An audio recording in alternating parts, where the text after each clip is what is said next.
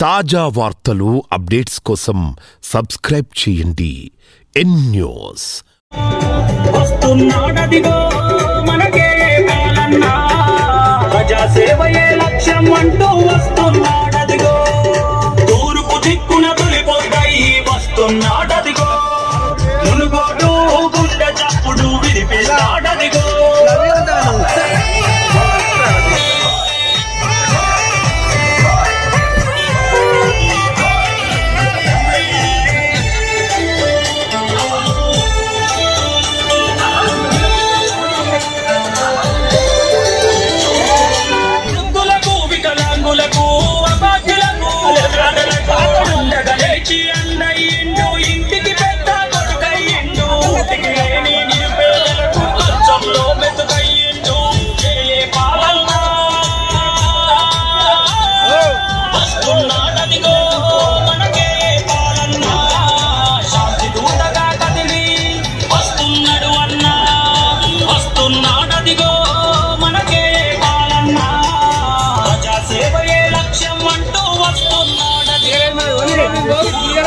తాజా వార్తలు అప్డేట్స్ కోసం సబ్స్క్రైబ్ చేయండి.